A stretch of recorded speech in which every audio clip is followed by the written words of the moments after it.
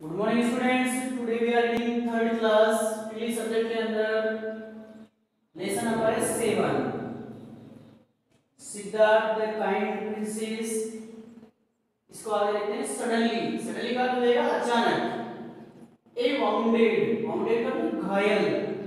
स्वान यानी हंस फेल यानी गिरा ऑन द ग्राउंड यानी ज़मीन पर.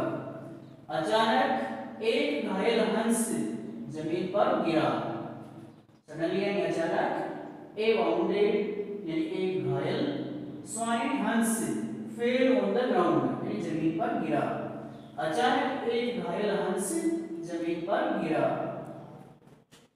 The kind prince lifted swan kind prince यानी वह दयालु राजकुमार लिफ्टेड यानी उठा लिया द स्वान यानी उस हंस को। दयालु राजकुमार ने हंस को उठाया। लिफ्टेड द स्वान यानी उस दयालु राजकुमार ने हंस को ऊपर उठा लिया। He took it in his leg. He took it in his leg. यानी उसने, राजकुमार ने took it. Took it यानी इसे ले लिया in his leg, अपनी गोद में। राजकुमार ने इस हंस को अपनी गोद में ले लिया। राजकुमार ने इस हंस को अपनी गोद में ले लिया। He pulled out the arrow arrow का मतलब तीर को। He pulled out, यानी उसने खींचकर बाहर निकाल दिया, द एरो यानी तीर को।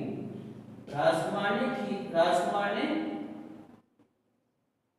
तीर को खींचकर बाहर निकाला। राजकुमार ने उस हंस के जो तीर लगा हुआ था, उसको खींच करके बाहर निकाल दिया। ही वास्ड इट्स वाउंड और राजकुमार ने इसके घाव को, यानी उस हंस हंस के जो घाव हो गया था, उस घाव को उसने साफ़ किया। उसने इसके घाव को साफ़ किया। होमवर्क करना है। कल इसके आगे बताएँगे।